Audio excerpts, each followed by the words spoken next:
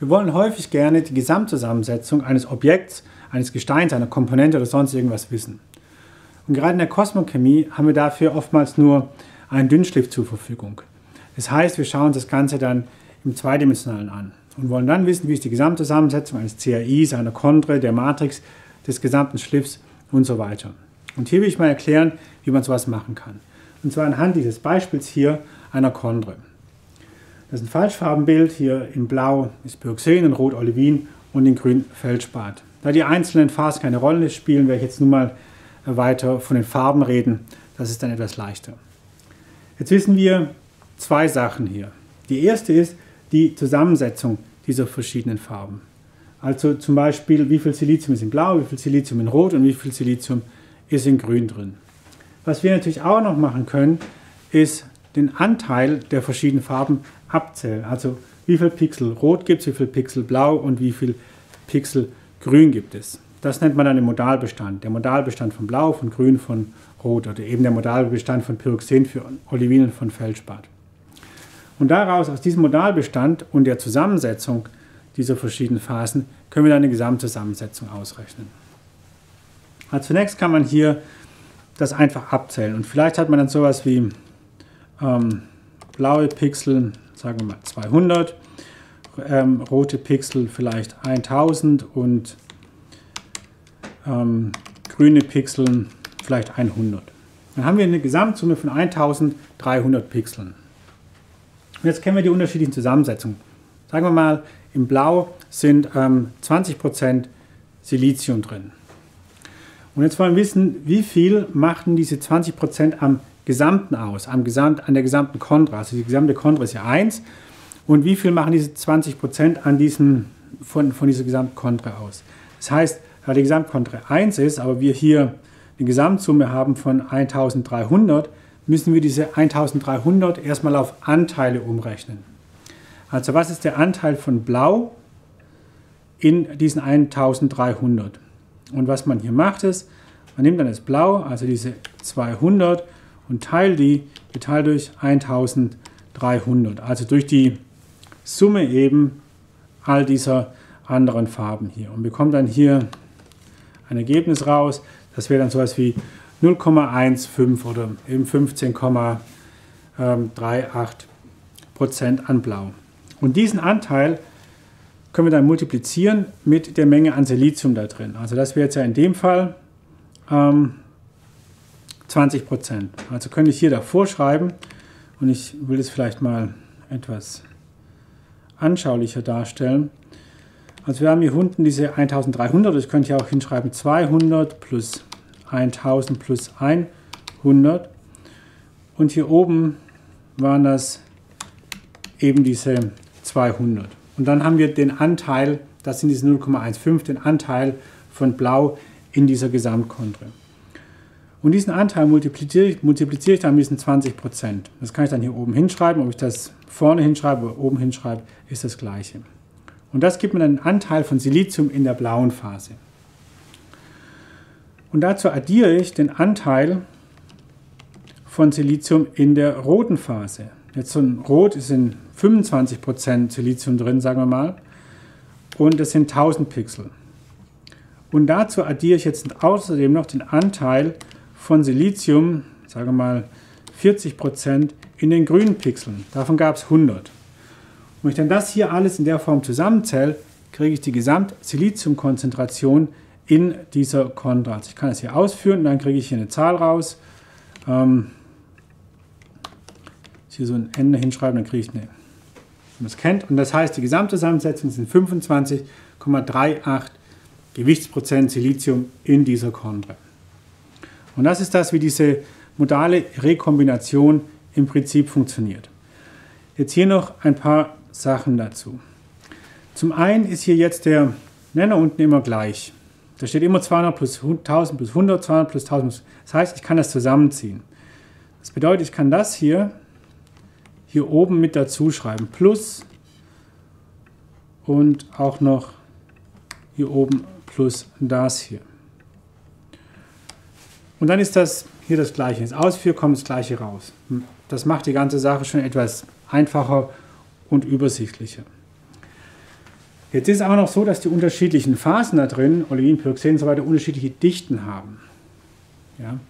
Und ich möchte das mal an, äh, mit, mit extremen Zahlen etwas veranschaulichen. Also angenommen, das hier vorne war blau und sagen wir, blau hat eine Dichte von 1. Und das hier ist rot und das hat eine Dichte von 2. Eine Dichte von 2 heißt, dass hier einfach doppelt so viele ähm, Silizium, doppelt so viel Silizium drin ist. Das bedeutet an der Stelle, das wäre so, als hätte man doppelt so viel Silizium, so als hätte man nicht 1000 Pixel, sondern hätte man 2000 Pixel. Ja, dann würde man hier hinschreiben, zweimal diese 1000, weil das doppelt so viele sind. Jetzt muss diese, wenn hier 2000 steht, dann muss natürlich diese 2000 auch hier unten auftauchen. Dann kann hier nicht 1000 stehen, sondern muss hier auch stehen 2 mal 1000. Und wenn hier hinten die Dichte von dem Grün, von dem Feldspat vielleicht 3 ist, dann wäre es hier nicht, dann wäre es, als wären es hier 300 Pixel. Das heißt, dann wäre es hier 3 mal diese 100 und dann muss auch hier unten das 3 mal 100 stehen. Und das Blau war jetzt zwar 1, aber an sich müsste hier auch 1 mal 200 stehen und hier unten natürlich auch 1 mal 200. Und in der Form hat man noch die Dichte hier mit reingebracht und hat für die unterschiedlichen Dichten korrigiert. Und deshalb nennt man es eine Dichtekorrektur. Und diese Dichtekorrektur, die muss bei dieser modalen Rekombination immer mit dabei sein.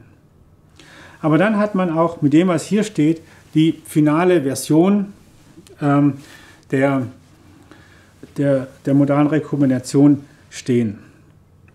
Das heißt, man kann das Ganze dann auch noch ein kleines bisschen umschreiben. Ich lasse das vielleicht einfach mal stehen, damit man das gleich besser sieht. Dann schreibe ich hier nochmal einen Bruch hin. Jetzt hat man hier oben stehen, das hier ist die Konzentration eines Elements. Da schreibe ich einfach nur mal ein C hin. Und ich belasse es dabei. Ich könnte auch noch C-Element schreiben, aber so wird es ja noch einfacher. C-Element mal, da kommt diese 1. Die 1 war die Dichte. Dafür schreibe ich dann mal hier ein D hin für die Dichte. Oder ich könnte auch ein Rho hinmachen. Ich bleibe es mal beim D. Rho für die Dichte, also das griechische Rho für die Dichte. Und dann steht hier als drittes die Pixelzahl. Und das ist der, der Modalbestandteil und der wird oftmals mit einem großen X angegeben.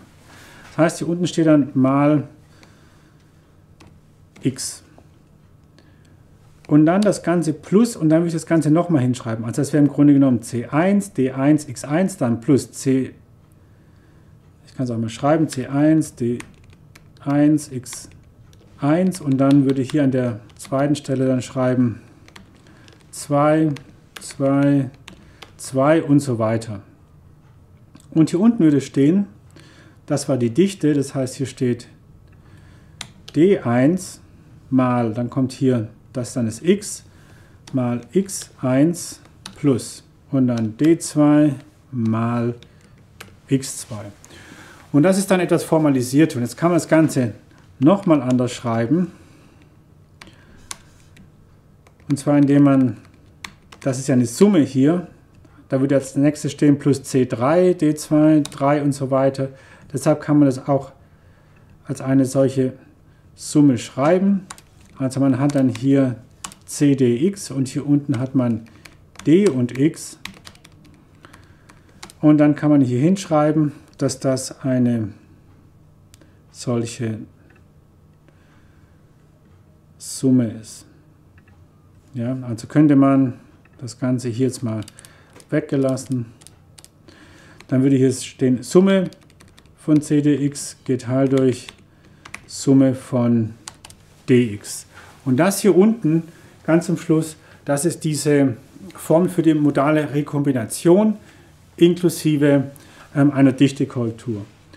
Und wenn man jetzt das Ganze nicht machen möchte für die Elementzusammensetzung, sondern für, sagen wir mal, eine Isotopenzusammensetzung, dann muss man hier noch die Zusammensetzung der Isotope hinzufügen. Und das würde, ich mache das jetzt nicht mehr im Detail, das würde aber äquivalent zu allem oben laufen, bloß man braucht dann noch für die verschiedenen, also man braucht ja auch die, die Konzentration der Elemente. Die Konzentration der Elemente würde hier wie so eine Art Dichte funktionieren, weil wenn in, einem, in einer Phase mehr eines Elements, sagen wir mal Eisen drin ist, ähm, dann hat es natürlich auch auf die Gesamt, also Gesamtisotopie einen größeren Einfluss, als wenn in einer anderen Phase weniger Eisen ist. Deshalb das Einzige, was hier dazukommen würde, wäre hier dann noch die Zusammensetzung, die Isotopenzusammensetzung, als würde man auch hier hinzufügen, zum Beispiel Delta.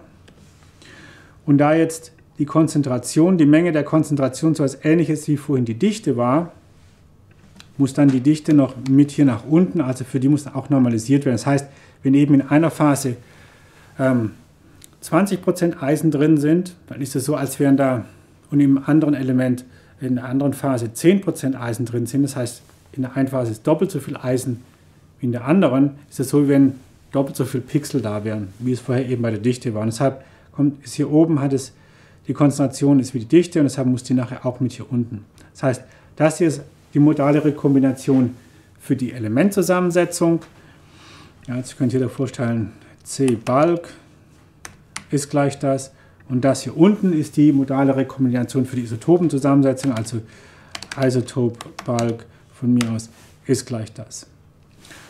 Und das ist das, wie die modale Rekombination funktioniert, um die Gesamtzusammensetzung von Komponenten, Gesteinen eines ganzen Schliffs auszurechnen.